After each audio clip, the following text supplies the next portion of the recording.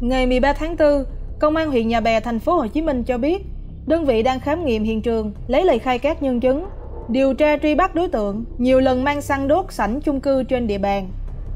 Trước đó, khoảng 2 giờ 19 phút cùng ngày, bảo vệ chung cư Phú Hoàng Anh nằm ở đường Nguyễn Hữu Thọ, xã Phước Kiển, huyện Nhà Bè, phát hiện khói lửa bùng cháy tại khu vực sảnh. Sau đó, bảo vệ và một số người dân dùng nước, bình chữa cháy dập tắt ngọn lửa. Do nghi vấn có người đổ xăng đốt, nên bảo vệ trình báo công an. Qua khám nghiệm, công an thu giữ một can nhựa, bên trong có mùi xăng nồng nặc. Mảng tường tại lóc B của chung cư bị cháy đen. Trích xuất camera an ninh, khoảng 2 giờ 15 phút, có một người đàn ông cầm can nhựa bước vào sảnh chung cư. Tiếp đó, người này đi tới khu vực block B một lúc rồi đi ra ngoài đường. Đến 2 giờ 17 phút cùng ngày, người đàn ông đi vào lấy can đổ xăng, rồi châm lửa đốt sau đó bỏ đi.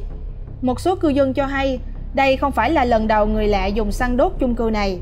Vụ việc này xảy ra ít nhất 4 lần. Gần nhất là đối tượng chế xăng đốt ở khu vực gần cửa hầm giữ xe.